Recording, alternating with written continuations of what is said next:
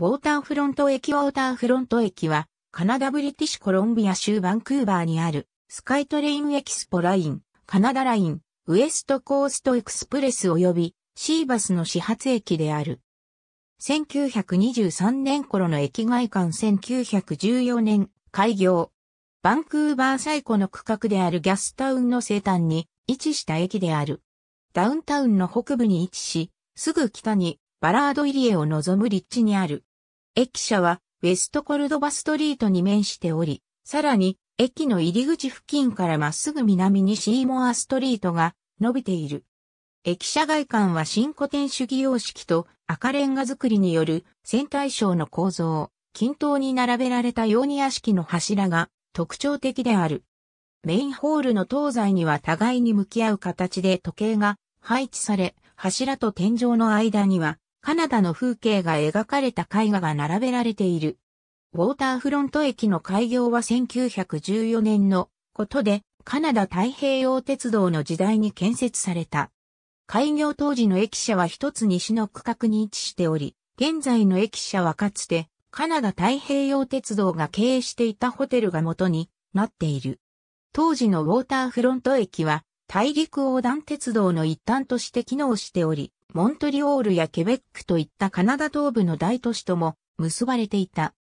1978年、ビア鉄道がカナダ太平洋鉄道とカナディアンナショナル鉄道のバンクーバーにおける営業路線を引き継ぐと、同駅もビアによって運営されるようになった。しかし、ビア鉄道はバンクーバーにおける鉄道の終点をカナディアンナショナルの所有していた駅に一本化する方針を固め、1979年10月27日の営業をもってウォーターフロント駅での操業を終了している。後の1995年にウエストコーストエクスプレスが開業した際、再建されたプラットフォームはかつてカナダ太平洋鉄道が使用していたプラットフォームの跡地だった場所に作られている。1985年、翌年に開かれるバンクーバー国際交通博覧会に際してエキスポラインが開業すると、その営業駅の一つとなった。ウォーターフロント駅はすぐ近くにカナダのパビリオンがあり、メイン会場であったスタジアム駅とエキスポラインで結ぶ役割を果たしていた。2002年にミレニアムラインが開業すると、ウォーターフロントからの直通列車も発着していたが、2016年にミレニアムラインが延伸したことに伴って、運行形態が再編され、同駅始発のものは姿を消している。シーバスは1977年に運行を開始した。かつてはシーバス以外にもバンクーバー島との連絡船が駅の近隣に発着していたが、現在は運行されていない。エキスポラインの駅入り口の一つ、エキスポラインのプラットフォームウエストコーストエクスプレスは、地上、スカイトレイン各線は地下にプラットフォームがある。